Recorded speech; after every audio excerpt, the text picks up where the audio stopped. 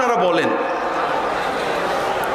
যে এক এক হুজুর এক এক কথা বলে কোথায় যাব? বলেন নাকি? ফুরফুরার মুড়িদেরাও বলে নাকি? কারণ ফুরফুরার এক হুজুর এক কথা বলে আর এক হুজুর কোন দিক যাব? বলেন না বলেন না। মাশা আল্লাহ আপনি যখন বাজারে যান, বাজারে গেছেন থলে নিয়ে, মাছের বাজারে অনেকগুলো মাছওয়ালা আছে না? আলুর বাজারে অনেকগুলো আলুওয়ালা আছে না? আপনি যখন বাজারে যান, সবগুলো দোকানদার একসাথে, স্যার আসেন, চাচা আছেন ভাই আছেন আছেন আমার কাছে টাটকা আছে, আমার কাছে ভালোটা আছে, আমার কাছে কেন অমুক ধান আছে, অমুক চাল আছে? বলে না বলে না। তখন আপনি থলেটা নিয়ে আস্তে আস্তে বাড়ির দিকে ফেরেন, এক এক দোকানদার এক এক কথা বলে, কি করব? ঠিক না? বাড়ি চলে যান, ঠিক না? বাজার করেই আসেন। আন্দাজে এক দোকানে ঢুকে নিয়ে চলে আসেন নাকি? যাচাই করেন। প্রথমে দোকান যাচাই করেন, ঠিক না? প্রথমে দোকান যাচাই করেন যে এর ভিতরে কোন দোকানটা ভালো, ঠিক না? ভালো দোকানটা দেখে গেলেন। দোকানদার কি করল? বলেন যে, ভাই, পাঁচ কেজি টমেটো নেব। বড় গাবলা করে পাঁচ কেজি পাল্লাই দিয়ে দিল।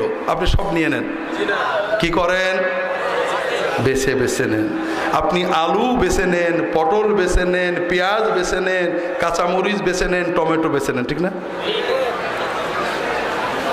আপনি প্রথমে দোকান যাচাই করেছেন, এরপরে পণ্য, মাল, হাব্বা হাব্বা, একটা একটা করে যাচাই করেছেন, ঠিক না? ঠিক না বেঠিক ভালো দোকানদার বারো আনা মাল ভালো দেয়, চার আনা খারাপ কাজে ওইটা সহ নেন, ঘটে নাকি? আপনি প্রতিটি মালই যাচাই করে নেন, ঠিক না বেটি তবে ইমান ইসলাম এবং জান্নাত আপনি যাচাই করেন না। আপনি বাজারে আলু যাচাই করেন, টমেটো যাচাই করেন, কাঁচা মরিচ একটা একটা করে বাছাই করে কেনেন, কিন্তু আল্লাহর জিকির করতে গেলে, আল্লাহর নামাজ পড়তে গেলে, আল্লাহর অলি হওয়ার জন্য, আল্লাহর জান্নাতে যাওয়ার জন্য যে মালগুলো কেনেন, এটা দোকানও যাচাই করেন না, পণ্যও যাচাই করেন না। এতে বোঝা গেল, আলু, পটল কাঁচা মরিচের চেয়ে ইমানের দাম, জান্নাতের দাম আপনার কাছে বেশি। এই ইমান নিয়ে জান্নাতে যাওয়া যাবে না ভাইরা ঠকবেন। কারণ যে আপনাকে জেতাতে চায়, তাকে আপনি ভুল বোঝেন। আর যে আপনাকে ঠকাতে চায়, তাকে আপনি জিন্দাবাদ দেন। দোকানদার পণ্য বেচা হ্যাঁ আমার খুব ভালো জিনিস, খুব কম দামে নেব, বিনা পয়সায় দেব, তারপরেও যাচাই করেন। আপনি দুনিয়ায় যখন জমি কেনেন ঈশ্বর দিয়ে জমি কিনবেন, দুই কাঠা জমি, দুই শতক জমি কিনবেন, ভাই, জমিটা আমার, এই দেখেন পাঁচ বছর ভোগ করছি, লোকজন সবাই জানে আমার টাকা দেন, জমি দিয়ে দেবো, দেবেন? কি করবেন? ফটোকপি দলিল হলে হবে? অরিজিনাল দলিল, পিঠ দলিল, পরচা নামপত্তন কোর্ট কাছারি করার পরে কেনবেন, ঠিক না? না হলে আপনি ঠকবেন লাখ টাকা, পাঁচ লাখ টাকা ঠকে যেতে পারেন।